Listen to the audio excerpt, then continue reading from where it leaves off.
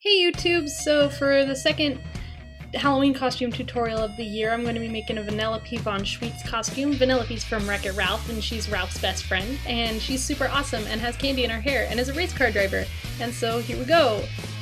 First we're going to start off by making her hair candies and you'll need some candy, some clear nail polish glue, and hair clips. And so you get out all of the colors of candies that you want. I used these hard candies that I got at the Dollar Tree, but you can use whatever candies you want. And then I painted them to make sure that they weren't sticky when I put them on my head. And then I left them to dry while I did my hair and makeup because it took a little while for them to dry. I also made sure to pick varying sizes of candies, some really little ones and some really big ones so that it would look better when it was all in my hair. So I did my makeup first because the hair look covers up part of your face. So I started off with a primer and I got that all over my face because Vanellope, like Michael Jackson, has perfect skin, but it's because she's computer animated, not because she's wearing makeup, because she's 9 years old.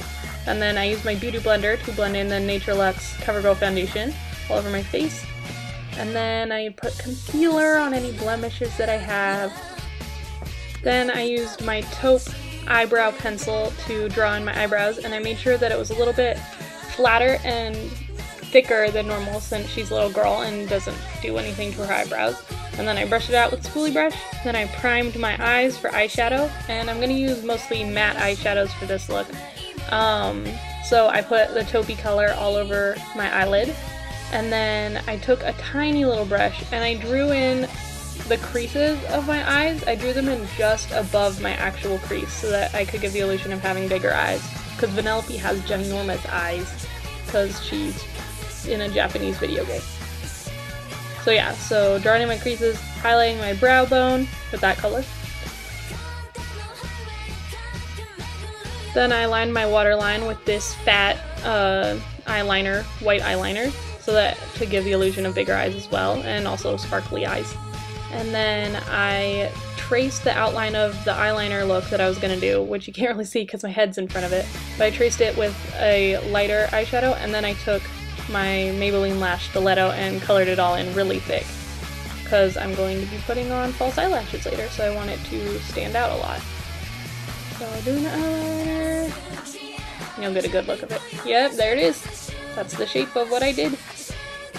So then I finished the other side, and then I took fake eyelashes and I stuck them onto my real eyelashes.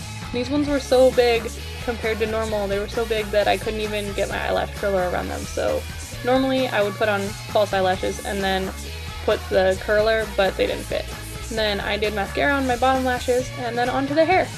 So I put my hair in a really high ponytail, made sure it was pretty much perfect, and then I took all my bangs out, which took a while to get those out exactly right because they're growing out, so they keep blending in with the rest of my hair.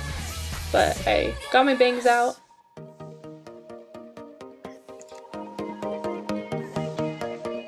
And I used my flat iron to straighten my bangs to get that edgy look that Vanellope has to her hair and give myself a good place to clip some candies into later. Then I used this really bright fuchsia lipstick and lip stain to get the look. And I also drew freckles on my nose, which I don't know where that footage went, but I did that. And then I tied a red bow to match Vanellope's licorice whip that she has holding up her ponytail. Then I hot glued the candies onto the hair clips, making sure that I kept the hair clips open because otherwise they'll pop off when you close them onto your head. For the actual costume, I have black shoes and white tights that I got at the drugstore and I have this seafoam green tank top that I have from the summer. You could use any seafoam green top. And then I have this brown skirt that I got at Forever 21 a while back and a pink belt that I got at the Gap. And yeah, altogether, mostly just matching up the colors of Vanellope's outfit and not as much the shapes. But it's still a pretty cute outfit. Maybe it's what Vanellope would wear if she was a 50s housewife. So yeah, that's the outfit, and I'll see you again next week with another costume, and I hope you enjoyed it. Okay, bye!